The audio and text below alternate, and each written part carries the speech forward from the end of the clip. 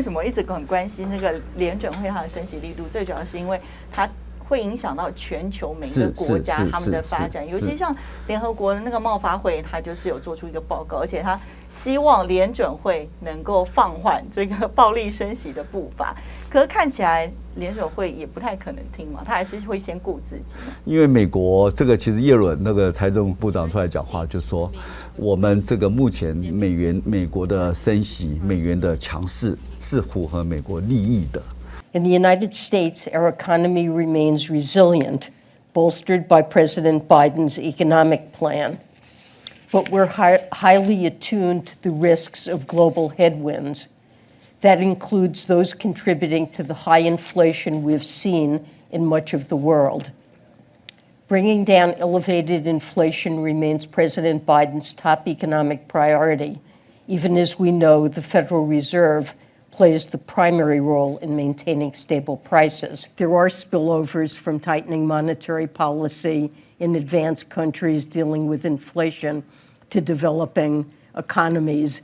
Um, high interest rates and weaker currencies uh, tend to exacerbate debt problems, and that's one of the reasons we're so focused on providing relief. 他们其实美国是一个比较 pragmatic 是一个很务实的民主，它还是以它的利益为最大的前提。哈，虽然美元美国升息跟美元的升值有很大的外部效应，对全世界有很大的外溢效应。第一个外溢效应就是说，第一个美元太强，全世界钱都跑回美国，那第一个会造成资本的外逃，各国这个新兴工业国家的资本外逃，外逃以后会造成它股市会是这个资金的一些短缺。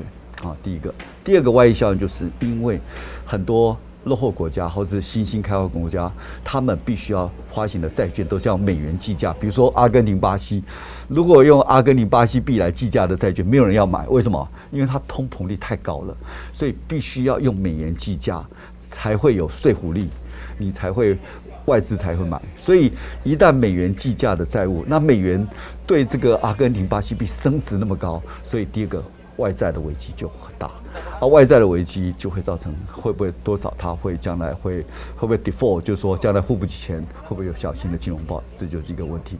第三个是呢，因为很多全世界的币值都对美元贬值，那币值对美元值，因为你很多粮价都是用美元来计价的，所以等于是我的东西买的更贵，我将来的通膨率。就更压力更大，更没有能力控制通膨。The third world countries have a different problem. They are facing their own domestic debt deflation. They can't pay their debts uh, that are denominated in US dollars without devaluing. Argentina and Turkey are the most uh, dis- distressed companies.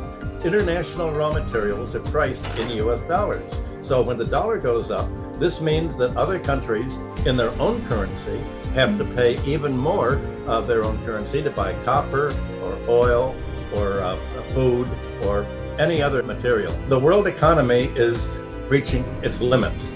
That's the crisis that we're in today. 所以美元的升值是升息都有很大的外溢效应，但美国当然目前对他来说，他还在升息，他 它的这个第一的要件就是控制国内通膨嘛，所以他会以自己的目标为优先的导向。那外其他国家那是可能是你家的事，所以他不会说因为这样，但是美元的外溢效应已经造成世界很大的恐慌，甚至呢可产生金融危机、小型的金融危机，像各国的一个停滞膨胀，因为钱都跑掉了嘛，经济常常会下来，会产生一些停滞膨胀的一些问题。因为我看他的报告当中有讲到说，如果联准会升息一个百分点，就是四码的话，就是发展中中国家它可能会连续三年掉大概百分之零点五，然后如果是在贫穷国家可能会掉到百分之零点八，所以那个幅度其实都很大。更何况它现在是升了十五码。所以那个冲击更大。所以有哪一些国家其实目前看起来它的危机是最大的？其实目前危机看起来哈，就是第一个就是前面的斯里兰卡已经出了问题嘛。这个巴基斯坦还有这个什么孟加拉，其实跟申请 IMF 的援助这些比较新兴国家，然后比较这个经济情况没有那么好的。第二个呢，当然我们常讲的这些过去的一些常常。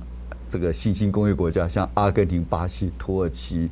啊，南非这些财务状况不是很好，但是常常会有一些问题的哈。啊，第三个，这次连先进国家都出了问题，像欧洲的一些，呃，欧欧债危机上市的几个国家，现在它的财务情况并没有大幅改善。这次又加入了英国，所以早期的意大利、哈、希腊、葡萄牙、西班牙，其实他们在的债务占 GDP 比重，在 欧债危机以后并没有显着的改善。那这个时候加上因为通膨，通膨加上能源危机，所以让这些国家更出现问题。 While in emerging markets, rising rates, worsening fundamentals, and large outflows of capital have pushed up borrowing costs notably. The impact has been especially severe for more vulnerable economies where 20 countries are either in default or trading at distressed levels. Unless market conditions improve, there's a risk of further sovereign defaults in frontier markets.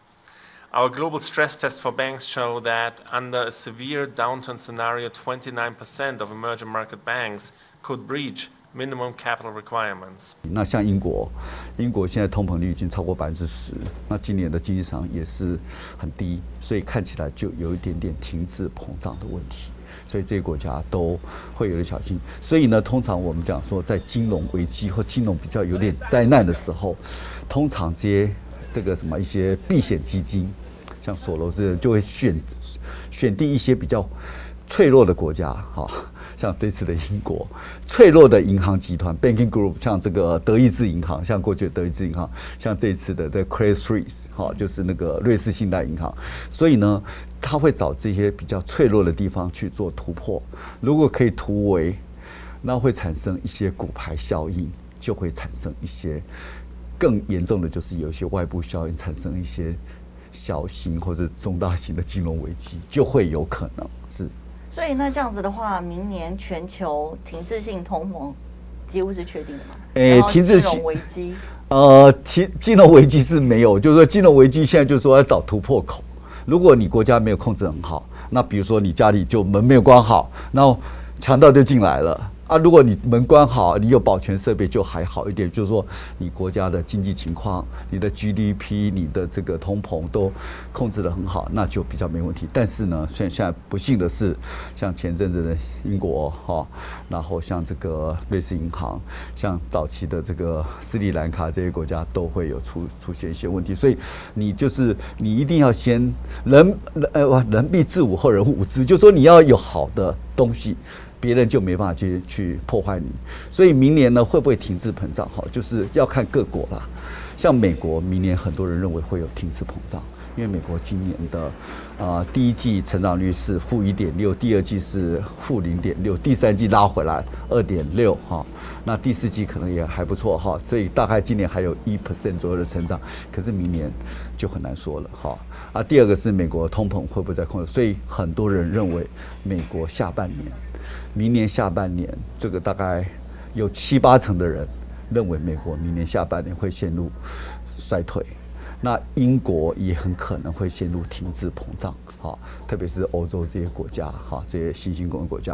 不过台湾还算好，哈，台湾大概他们不知道 IMF、OECD 有做估计，就说全世界今年四分之三的 GDP 的经济体，哈，比如说像美国、中国大陆都会有一点下滑。好，那明年呢会有三分之一的国家陷入衰退，就是变得负成长了。The 2023 slowdown will be broad based, with countries accounting for a third of the global economy expected to contract this year or next. The three largest economies, the United States, China, and the euro area, will continue to stall.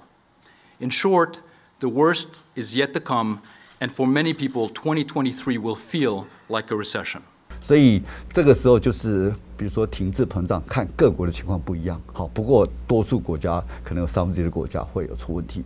然后金融危机就要看你国家的情况会不会有突破口，让人家来侵略你，那你就会产生一些问题。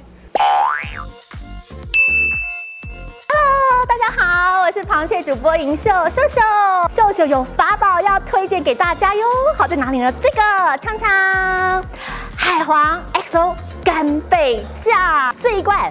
很厉害，很威，好吗？超威的球蛋白，超级丰富的鲍鱼，还有。